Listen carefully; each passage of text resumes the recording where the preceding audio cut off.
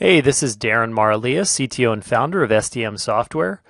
And in this uh, quick demo, I'm going to show how you can use SDM Software's GPO Reporting Pak products, uh, which are GPO Exporter and GPO Compare, to analyze the differences in GPO settings between two OU's uh, GPOs. So let's go ahead and fire up Exporter here and start a new export. And I'm going to go ahead and drill down and pick a a view of GPOs based on how they're linked to an Active Directory infrastructure. And if I drill into the engineering workstations OU, I'm going to go ahead and grab the GPOs that are processed by this engineering workstations OU, including the default domain policy. And I'm going to go ahead and pick all the different policy areas that are available. And once I've got this export, I'm going to save it off as what's called a snapshot. So I'm going to give it a comment of engineering OU demo and go ahead and save it. And then I'm going to go ahead and do another export.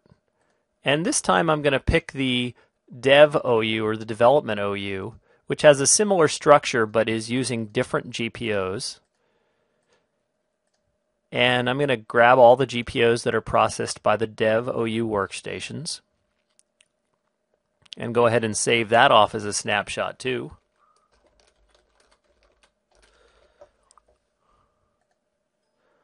Now I've got my two snapshots. I'm going to come into the other product within GPO Reporting Pak, which is GPO compare, and I'm going to tell it I want to select GPO exporter snapshots to do the comparison on.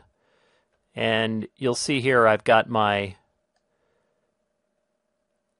engineering OU snapshot as the first GPO or the baseline.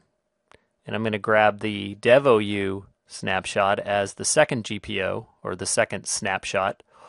I'm going to tell it to exclude domain and GPO names because I really just want to compare settings, not uh, GPO names and domain names.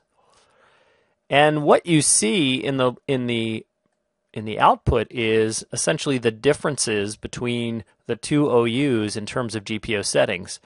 So you'll see I've got some password policy set on that first OU, that engineering OU. I've got some security options set. And in the second OU structure, the dev OU, I've got some different password policies, some different signing requirements some different force logon hours. If I go into the show me the settings that are the same button, you'll see that there's quite a few duplicate settings between these two OUs. So I can kind of quickly and easily see what's the same and what's different between these two OU structures worth of, of GPOs. And this is a really powerful capability that's enabled using our GPO Reporting Pak software. So I would encourage everyone to go to our website at sdmsoftware.com and download trial versions of these applications and uh, see for yourself how they can help you doing uh, group policy analysis within your environment.